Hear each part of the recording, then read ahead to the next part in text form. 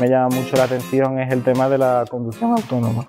Imagino que eso puede ser un, un cambio bastante importante en el sector y que ahí tiene que haber un montón de oportunidades y de nuevos modelos de negocio y que es algo completamente casi que futurista. ¿no? Eso tema de blockchain, hay proyectos Minerva que están trabajando con esa tecnología, que también he visto posibilidades de hacer voto electrónico en cuanto a servicios frente a productos, en General Game sacaba, por ejemplo, un videojuego que no se consideraba un producto, sino que pasaba a considerarlo como un servicio, porque estaban continuamente eh, sacando actualizaciones y teniendo un equipo dedicado, por ejemplo, a, ese videojuego y que cambiaban la filosofía en ese sentido.